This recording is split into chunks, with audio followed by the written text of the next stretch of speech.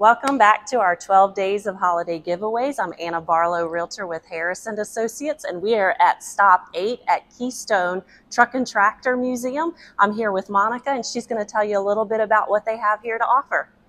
Hello, I'm Monica. Welcome to Keystone Truck and Tractor Museum.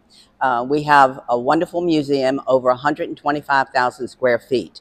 Uh, that's about three acres. We have over 180 restored tractors. This is a self-directed museum. In front of each vehicle, there's a fact sheet that tells you a little bit about that particular item.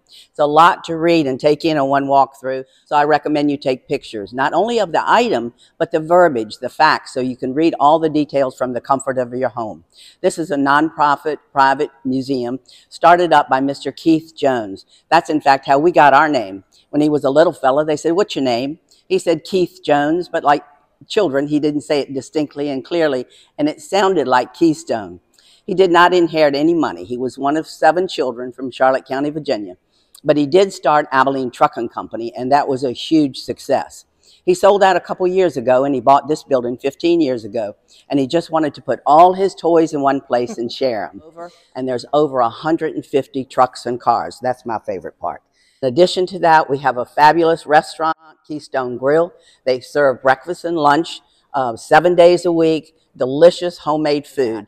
And our bonus is our gift shop. And I'm in the gift shop every day. Um, we open from 9 to 5. We have a variety of gifts. Um, I would say probably primarily toys are driven, but we have ball caps, we have uh, jackets, hoodies, we have flags. They're one of our biggest sellers. We have an assortment of flags, and we have a lot of new products we've identified. So we look forward to you joining us and having fun. Thank you very much. Monica, I can say that every Friday I come in with a group on Friday mornings and we have breakfast as a big group together. So this really feels like a family atmosphere. It's um, fantastic to have that. And then the gift shop people can come into. While we're talking about the gift shop, I want to show you my giveaway. So from Keystone, the giveaway is going to be this truck and tractor, how appropriate, and then also this Home Sweet Home flag. It's going to be a set, so be sure to share, like, and comment so you can get entered into the drawing for this gift set. Thank you so much Thank for you. having us. Merry Christmas. Thank you for visiting with us. Merry Christmas.